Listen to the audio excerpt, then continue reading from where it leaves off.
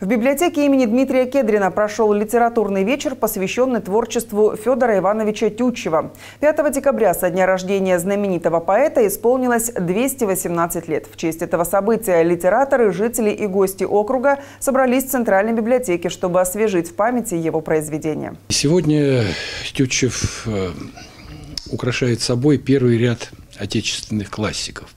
И интересно то, что он никогда не считал свое поэтическое творчество главным делом жизни, а себя профессиональным литератором.